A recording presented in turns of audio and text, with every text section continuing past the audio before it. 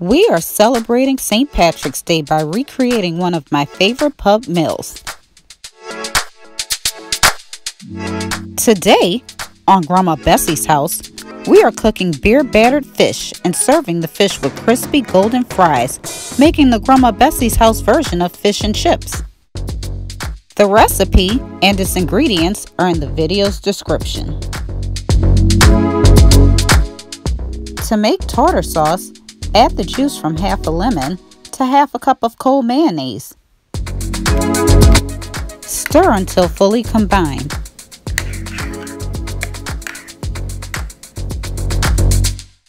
Add the remaining ingredients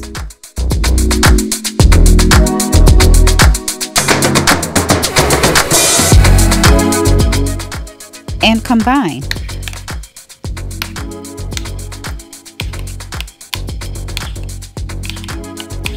As a side note, I should have combined these ingredients in a large bowl to shorten this step.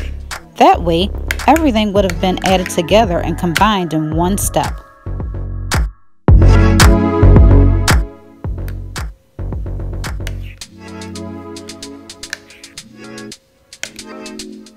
Place tartar sauce in refrigerator to cool. If you are enjoying this video, give it a thumbs up and share it. If you enjoy watching our videos, help our channel grow by clicking subscribe followed by clicking the notifications link. To make fish, add cornmeal to self-rising flour. Combine. Add krill seasoning and lemon zest and combine again. Dredge each slice of fish in the flour mixture. Sit the coated fish on a baking rack.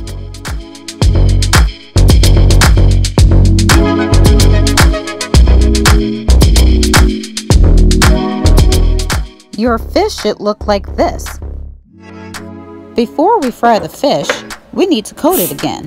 But first, add stout beer to the flour mixture. I'm adding Guinness.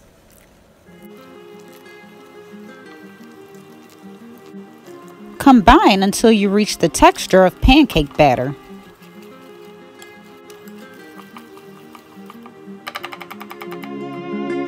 So what's your favorite pub food? Let us know by leaving a comment below. Add vegetable oil to a skillet spread with nonstick spray. Over medium heat, allow oil to heat up until it reaches between 365 to 375 degrees Fahrenheit. Dredge fish again in flour mixture and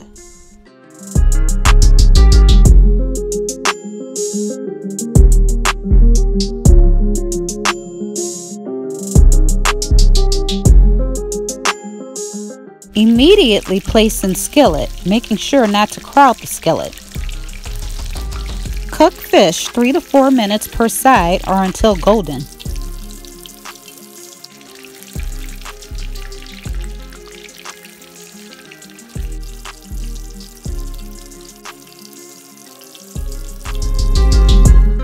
Place fish on a baking rack to drain.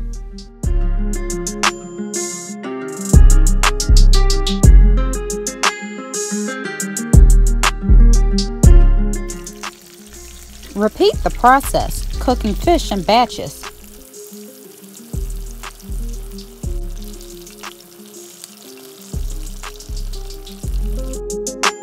Just lovely. But before we eat, don't forget to like and share this video. Also, subscribe to our channel and click the notifications link to stay current on new recipes. Serve fish with tartar sauce, parsley as a garnish, and with crispy golden fries.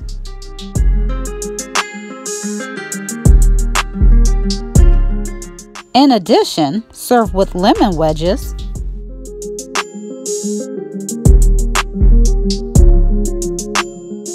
and malt vinegar. Thank you for watching another episode of Grandma Bessie's House.